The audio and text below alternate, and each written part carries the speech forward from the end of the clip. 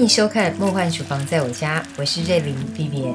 喜庆宴客上必出现的餐前甜点，其实就是炸汤圆。如何做出外酥内 Q 软的炸汤圆？我们来准备材料。原味的白汤圆准备的是糯米粉一百公克，摄氏八十度 C 以上的热水七十五到八十公克，就把所有的材料搅拌均匀成团。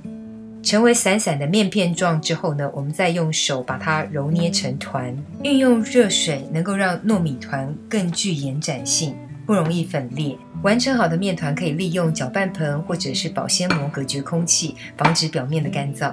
接下来我们再做红曲汤圆的部分。糯米粉一百克，八十度 C 以上的热水七十到七十五克，红曲一大匙。一样把所有的材料混合均匀，成为面片状，大概就拌到没有干粉就可以了。接下来把碎碎的面片面块揉捏在一起，如果材料比例是测量正确的，很快就可以揉捏成团了。除了传统两色的汤圆呢，我再增加了南瓜汤圆的制作方式：糯米粉一百克，蒸熟的热南瓜一百克。记得南瓜一定要趁热拌入哦。如果买到的南瓜水分含量比较低的话，记得添加一点点的热水。三种颜色的汤圆面团完成之后，我们就要准备来分割汤圆。因为糯米面团的表层呢非常容易干燥干裂，所以记得保湿一定要做好。把糯米面团搓成长条状，然后切成可入口的小块状，大概可以搓揉成直径一点五公分大小的汤圆，我觉得最适合。大家可以依照自己喜欢的大小微调，不过记得做的越大，炸的时间要拉得越长哦。准备来搓汤圆喽。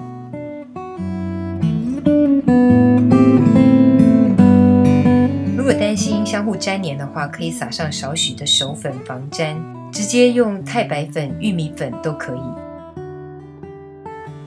准备来油炸我们的汤圆喽，选择耐高温的食用油，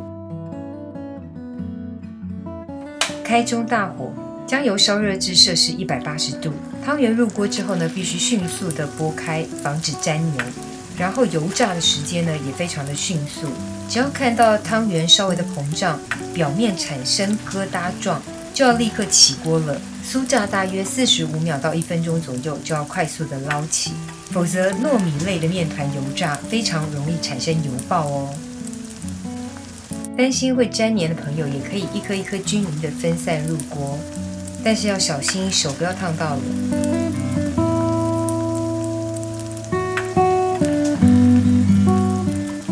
后用料理块拨动一下，防止底部粘黏。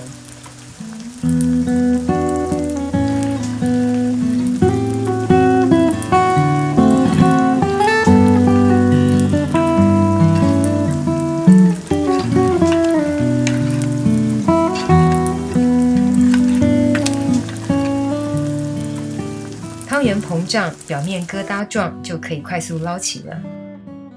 这是 NG 版的示范了。汤圆重叠入锅，让所有的汤圆都粘连在一起了。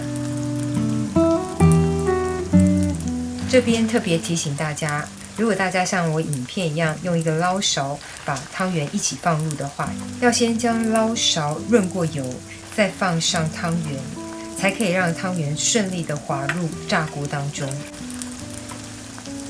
接下来我们来自制花生糖粉。去皮花生四十公克，糖一大匙，只要可以把坚果打成粉状的调理机都可以哦。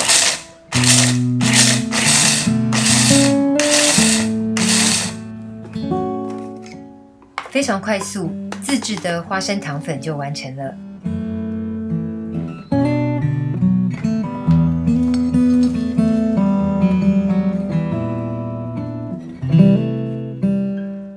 片当中我使用的果干是青提子哦，你可以选择葡萄干或是蔓越莓干来取代。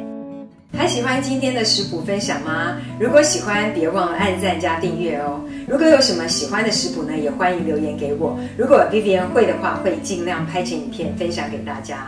梦幻厨房在我家，我们下次见喽，拜。